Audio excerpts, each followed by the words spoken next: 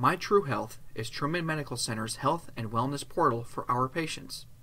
With myTruHealth, patients can now access their medical history online. myTruHealth gives patients the support and access they need to make informed decisions about their care.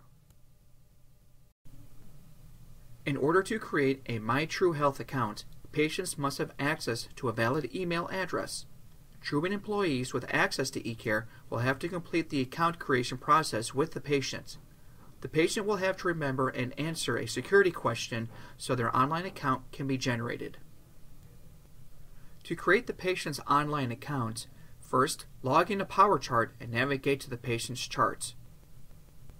Open PM Conversation and select Modify Person. From the drop-down list, select IQ Health Patient Portal and click OK. In the Registration Indicator window, select Yes, Generate Invitation.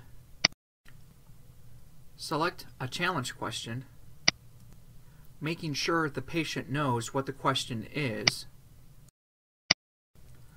Enter a challenge answer. Make sure the patient remembers what the answer is. And finally, enter the patient's valid email address and click OK. An email will be sent to the patient's email address provided.